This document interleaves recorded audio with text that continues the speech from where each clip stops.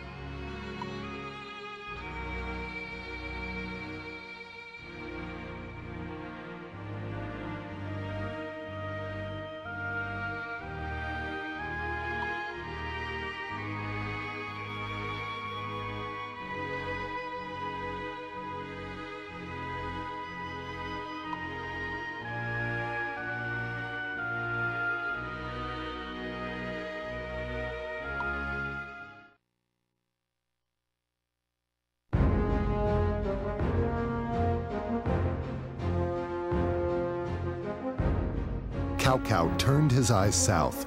Gathering an enormous army, he marched toward the Jing province. In Jing, the elderly prefect Liu Biao died of illness, causing further confusion in the land. Caught in the midst of a squabble over succession, Jing fell to Cao Cao's invasion without being able to put up a fight. Liu Bei, who had been living in Jing, escaped to Jiangxia after refusing to surrender. Having taken Jing with no losses, Cao Cao decides to extend his southern campaign and take Wu. Preparations continue in Jing.